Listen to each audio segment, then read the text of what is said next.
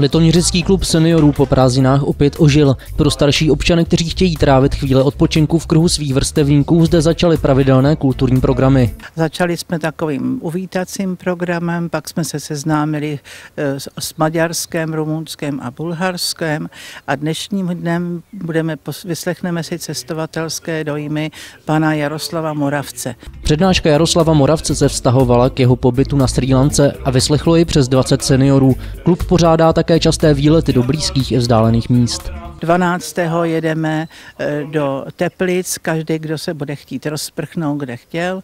12. jsme byli v opárně na výletě a každý čtvrtek se, se pravidelně scházíme u, u písniček, takže vidíte, že se nezahálíme. Seniorům, kteří se setkávají v pondělí a ve čtvrtek mezi druhou a čtvrtou hodinou, pravidelně přednáší lékaři, odborníci na výživu nebo policistky z preventivně informační skupiny.